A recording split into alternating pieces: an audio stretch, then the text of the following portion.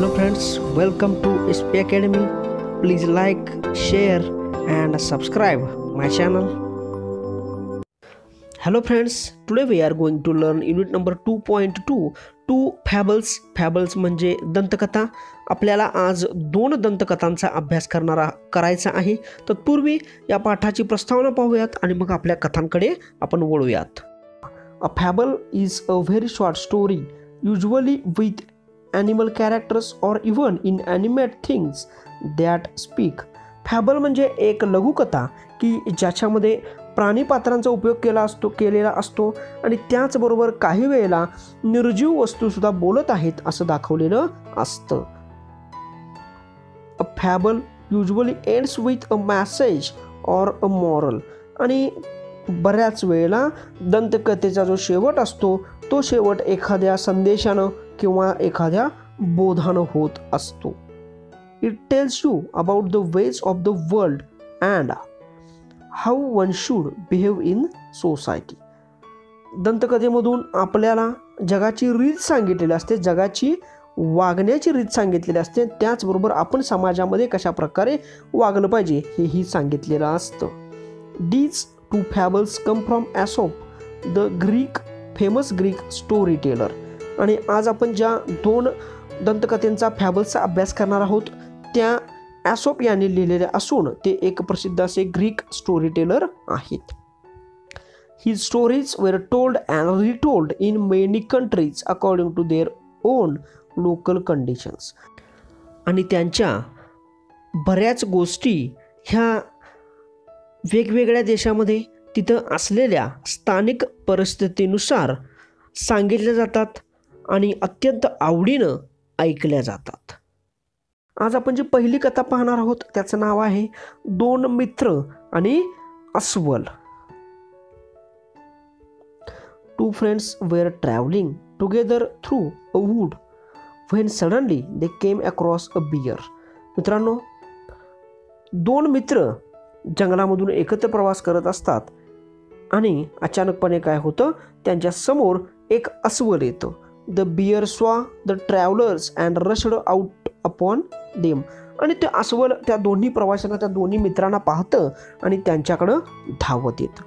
One of the travellers was good at climbing trees आणि त्या दोन प्रवाशांच्यापैकी एक प्रवासी जो असतो तो प्रवासी झाडावरती चढण्यामध्ये तरबेज असतो. Without waiting for his friend he caught hold of the branch of a nearby tree आणि आपल्या मित्राचा विचार न करता आपल्या मित्राची वाट न पाहता तो काय करतो? He caught hold of the branch of a nearby tree जवळच एक झाड असतं त्याच्या फांदीला पकडतो आणि तो झाडावरती चढतो and hide himself among the leaves आणि स्वतःला त्या झाडाच्या पाण्यामध्ये लपवतो. The other did not know what to do आणि दुसरा मित्र मात्र गोंधळून जातो. त्याला लक्षात येत नाही आपण आता काय करायला हवं. He had heard that bears do not bother with dead animals त्यानं फक्त ऐकलेलं असतं की अस्वल जे असतो तो अस्वल मृत प्राण्यांना त्रास देत नाही त्यांना कोणत्याही प्रकारची इजा करत नाही. So he threw himself flat down upon the ground with his face in the dust आणि म्हणून तो काय करतो? तर मातीकडे धुळीकडे चेहरा करून त्या जमिनीवरती पडून राहतो. The bear coming up to him put its muzzle close to his ear and sniffed and sniffed आणि ते जे अस्वल असतं ते अस्वल काय करतं? तर त्याच्याजवळ येतं. आणि जवळ आल्यानंतर इट्स मजल मजल म्हणजे प्राण्याचं नाक. त्याचं नाक काय करतं?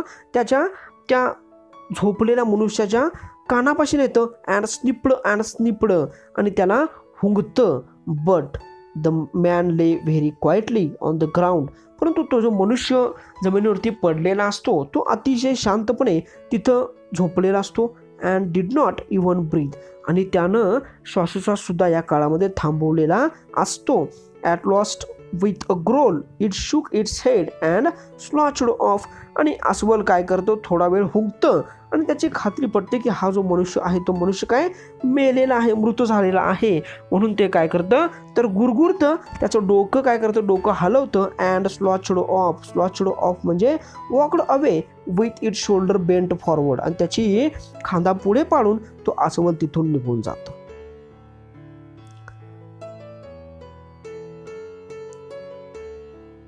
Then the fellow in the tree came down to his comrade.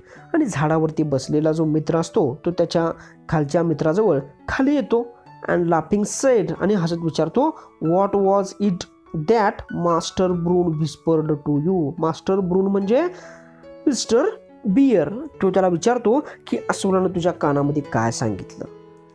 He told me said the other आणि तो खाली झोपलेला मित्र म्हणतो never trust a friend who जे deserts you at a pinch आणि तोच म्हणतो की मला अस्वलानं सांगितलं की अशा मित्रावरती विश्वास ठेवू नकोस जो तुला संकट समयी एकटा सोडून जाईल. पिंच म्हणजे काय? इन अन इमर्जन्सी संकटकाळी. आणि डेझर्ट सी म्हणजे लिव्ह अलोन एकटं सोडणं आणि तो काय म्हणतो की अशा मित्रावरती विश्वास ठेवू नकोस जो तुला संकटकाळी एकटं सोडून जाईल. अशा प्रकारे मित्रांनो आज आपण two friends and the bear ही कथा पाहिलेली आहे. आणि यामधून आपल्याला संदेश दिलेला आहे की संकटकाळी सम मदत करतो तोच खरा मित्र असतो. संकट समयी आपल्याला जो सोडून जातो त्याला आपल्याला खरा मित्र म्हणता येणार नाही. मित्रांनो व्हिडिओ आवडला तर आपल्या व्हिडिओला लाईक करा शेअर करा आपल्या चॅनलला सबस्क्राईब करा मित्रांनो. आज आपण इथंच थांबूया. जय हिंद जय महाराष्ट्र.